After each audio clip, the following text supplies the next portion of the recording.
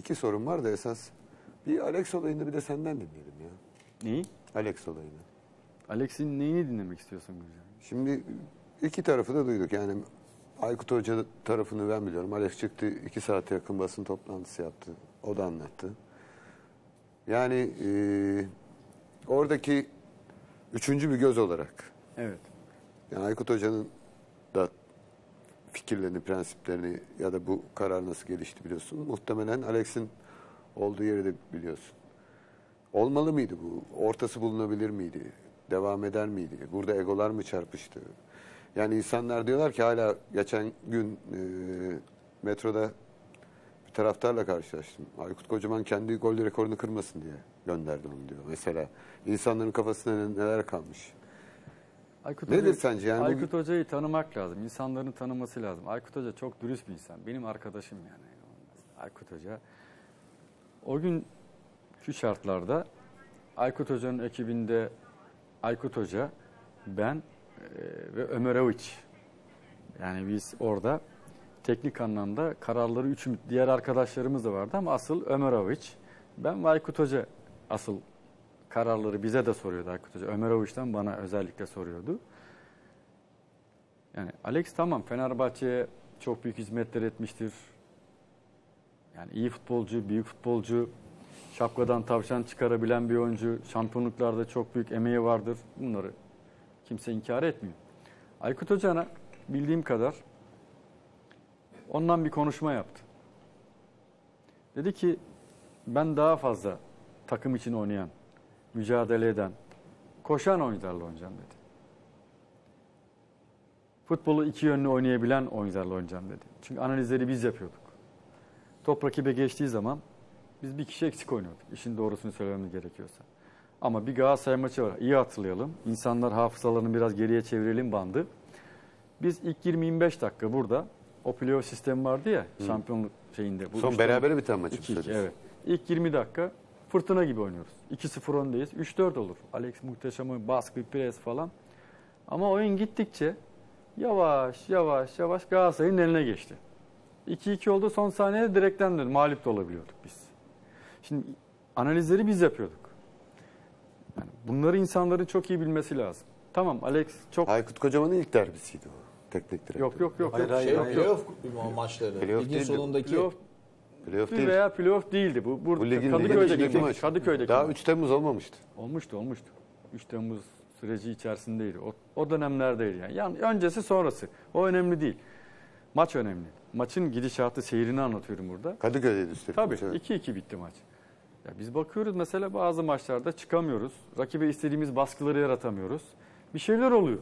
Yani biz bunu değiştirmemiz lazım dedi Aykut Hoca. Yani biz daha hızlı oynamalıyız, daha baskılı oynamalıyız, daha coşkulu oynamalıyız. Baktık ki top rakibe geçince biz o baskıları Alex'e yapamıyoruz. O zaman Aykut Hoca işte bir sene öyle şampiyon olduk falan geçti. Daha sonra dedi ki ona herhalde öyle olduğunu düşünüyorum, tahmin ediyorum.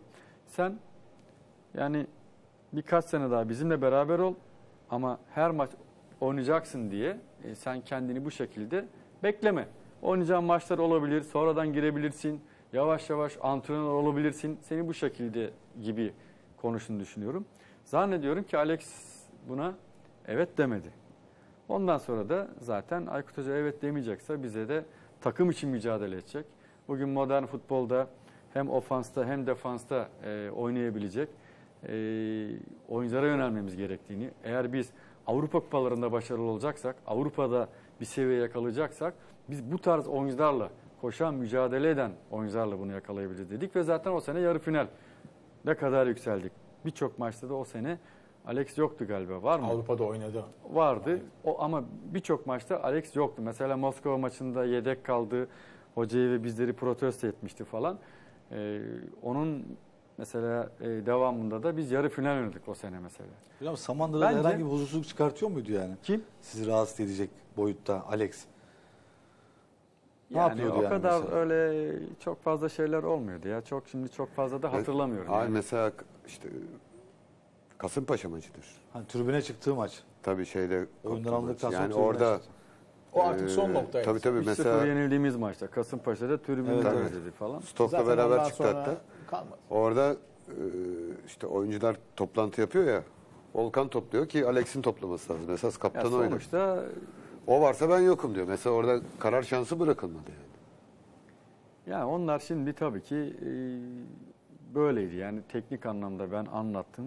E, iş Peki ikna edilemez miydi? Yani o e, si- sizin hiç görüşmeniz oldu mu Alex'le konuşmanız? Ya biz Alex'le konuşuyorduk, görüşüyorduk ama tabii bu işin boyutunu Aykut Hoca konuştuktan sonra biz konuşmazdık yani. O işlere ne ben ne Ömeroviç hiçbirimiz girmezdik yani. Çünkü onun teknik patron Aykut Hoca. Hoca peki aynı şartlarda olsa mesela e,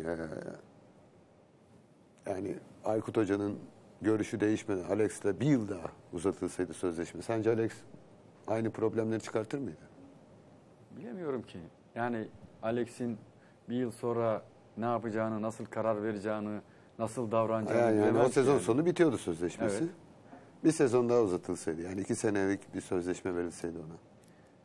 Yapılsaydı bunlar ben sanki Aykut Hoca Alex'le konuştu gibi geliyor bana. Ben öyle biliyorum. Sanki Alex orada bazı şeyleri kabul etmedi diye biliyorum. Orada Aykut Hoca set çekmiş büyük ihtimalle. Aykut Hoca set çekmiş orada büyük ihtimalle.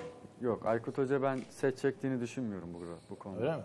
Ben düşünmüyorum. Aykut Hoca yani Alex'le ilgili bence çok olumlu davrandı. Çok yapıcı davrandı ona.